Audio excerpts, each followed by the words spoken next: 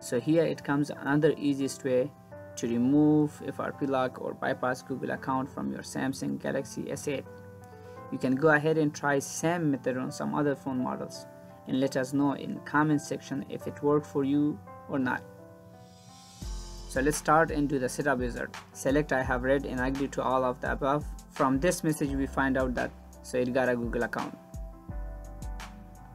Let's connect it with uh, Wi-Fi type the password for your Wi-Fi. Now press next. Bring your old data for quicker setup. So we don't need that. So here skip this for now. Click next. It's checking for the updates. If there is any new releases for the updates so it's gonna be installed automatically.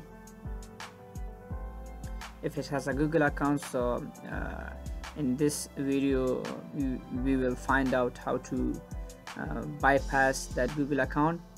And this is my second video um, about Galaxy S8 uh, I hope you guys will like the video. Uh, we don't know what's the patron for that. Alright so it seems like it got a Google account and uh, it's telling us that verify your Google account. You can go backwards to the front page um, or uh, you don't have to go to the front page uh, the process will work on either way. If, if you are in this page on the Google account page or, or, or you are on the welcome page doesn't matter. For this trick uh, you need a SIM card ejector and a SIM card lock with a pin, a pin code.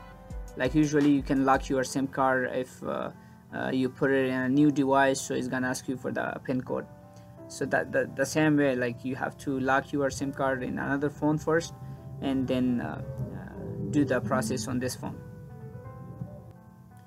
Once the sim card is locked uh, uh just uh, insert the sim card.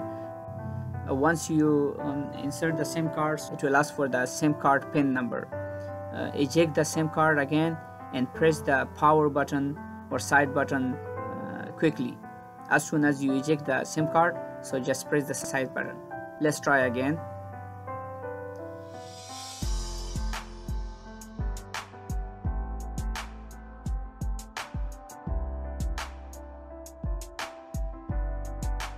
So now here you will see the lock.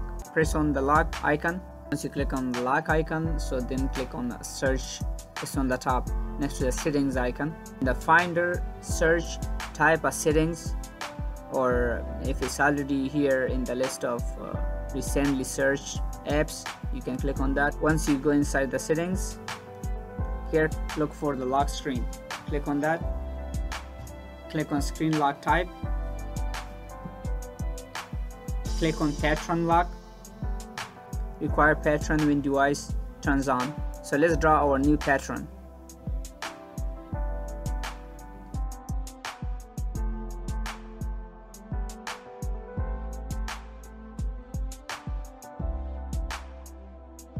press on agree uh, you don't have to sign into your Samsung account. Now let's go back to the welcome screen and start our setup wizard again. Accept that and click next. Click next. Skip that. The phone is checking for the updates again. Just a second so it's time to draw our new pattern and hopefully it's gonna work. Let's see. All right so here it is. So we got it and we can now do the rest of the work. Skip that. Yeah so now it's already unlocked. It doesn't ask us again. And we are good to go please subscribe for more videos and let us know in the comment section if this method works for you or not